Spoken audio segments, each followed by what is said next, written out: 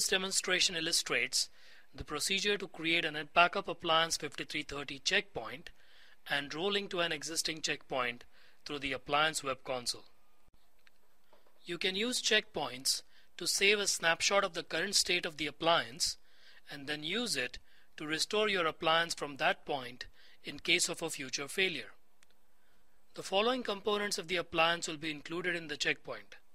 The appliance operating system, the appliance software, the NetBackup software, the network configuration, and any previously applied software updates. Note that the backup data stored on the appliance is not included in the checkpoint. There are three types of checkpoints.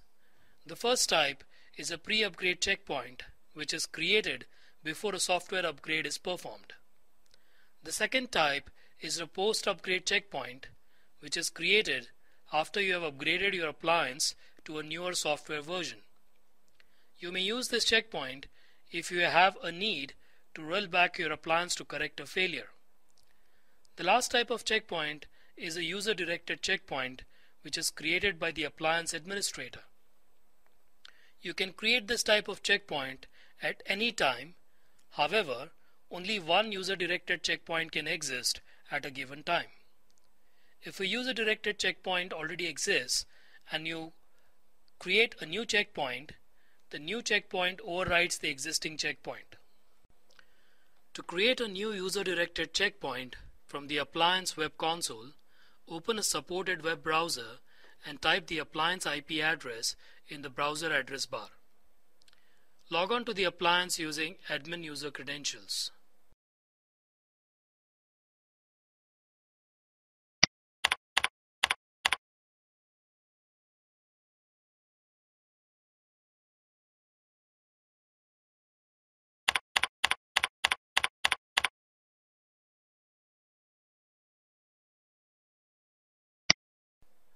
Then click on the Manage tab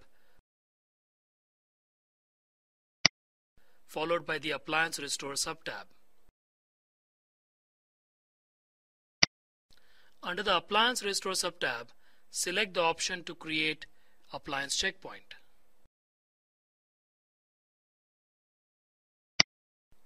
If any checkpoints already exist, those checkpoints appear on this page. In addition, if a user-directed checkpoint already exists, the new checkpoint will replace the old checkpoint. Enter a description in the Create Appliance Checkpoint description field at the bottom of the page. This description is a way by which you can identify the new checkpoint.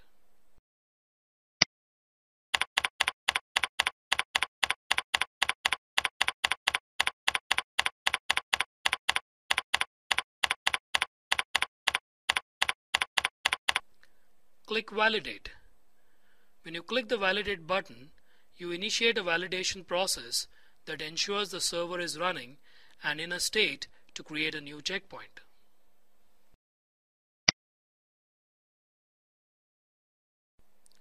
A window appears and shows a validation check is in progress. A status message appears on the page letting you know whether the checkpoint validation is complete and successful.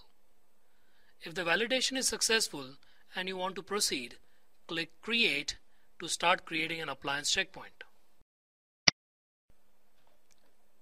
At this stage, the Create Appliance Checkpoint pop-up appears. If no checkpoint currently exists and you want to proceed, click Yes. If a user-directed checkpoint already exists and you want to override that checkpoint, click Yes. Otherwise, click No. Note that once you begin the checkpoint creation process, you cannot perform any other functions on the NetBackup Appliance Web Console until the operation completes.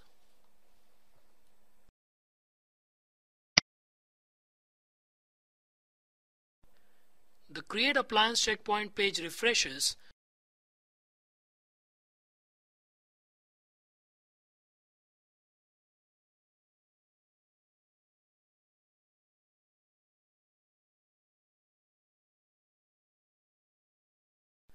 To see more information on the status of the checkpoint creation progress, click the details link.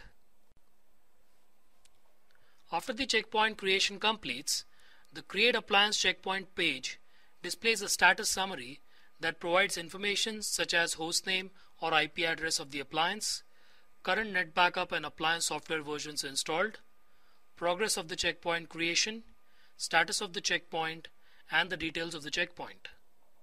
Click Finish to complete the procedure and return to the appliance restore page.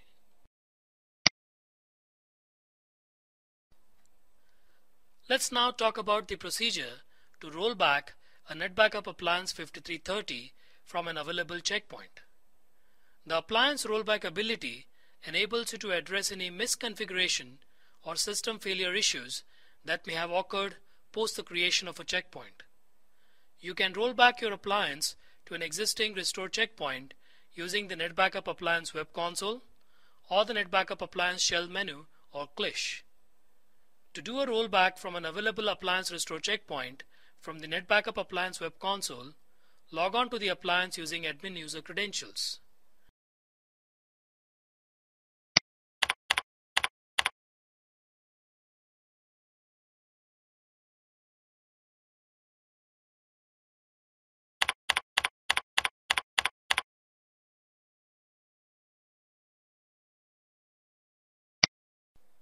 Then click on the Manage tab followed by the Appliance Restore subtab. Under the Appliance Restore subtab, select Appliance Rollback. If no checkpoints exist, a message stating that no checkpoints exist appears on the page. If a checkpoint or checkpoints already exist, they are shown on this page. At most, there can be three checkpoints. A pre-upgrade checkpoint, a post-upgrade checkpoint, and a user-directed checkpoint. Select an available checkpoint from the Select an appliance checkpoint to roll back the appliance to a specific checkpoint list. Also determine if you want to restart the appliance automatically after the rollback operation completes. If you do, Check the Restart Appliance Automatically After Rollback checkbox.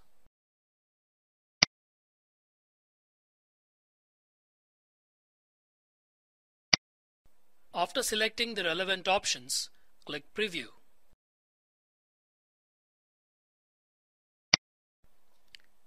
At this stage, the rollback appliance page updates and shows the components that are rolled back during the operation. The components that are rolled back include the appliance operating system, the appliance software, which includes the NetBackup software as well, any previously applied software updates, and the network configuration. Since backup data is not captured in the appliance checkpoint, it is not impacted by the appliance rollback. Click Validate to begin the checkpoint validation process. The validation check ensures that the appliance is up and running and is ready to start the rollback process. A pop-up window now appears that shows the progress of the validation process. After the validation completes, a message showing the result of this validation appears on the appliance restore page. If the validation is successful, click Start to roll back to the selected checkpoint. Note that during the rollback process, all appliance functions are suspended.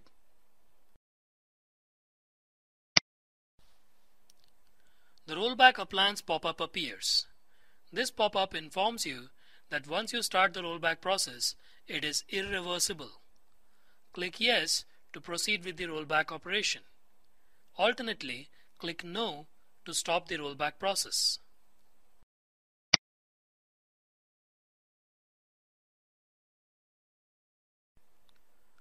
The rollback appliance status page appears so you can monitor the success of the rollback operation for the appliance.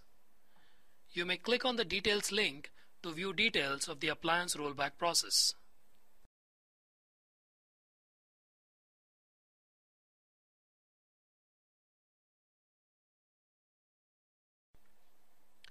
After the rollback operation completes, the compute appliance must be restarted.